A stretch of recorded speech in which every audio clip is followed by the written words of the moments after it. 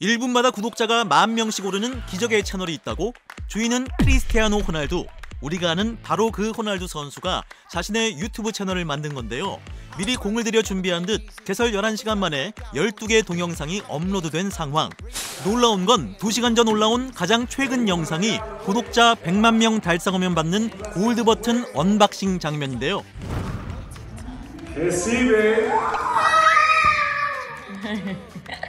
Recibe. Recibe. Esta placa. ¿Conocen esto? 더 놀라운 건 그 사이에도 구독자 수가 무서운 속도로 치솟아 채널 개설 12시간 만에 천만 명을 돌파했다는 사실.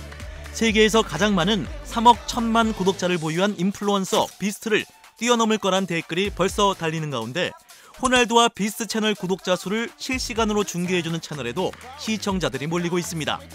이미 6억 명 넘는 인스타그램 팔로워를 가진 호날두 자신의 상징인 시우를 활용해 SIUbscribe 유튜브 채널 구독을 독려하고 있는데요. 이래저래 남다른 행보를 보여온 호날두가 유튜브에서도 신급 보법으로 전 세계적인 주목을 받고 있습니다.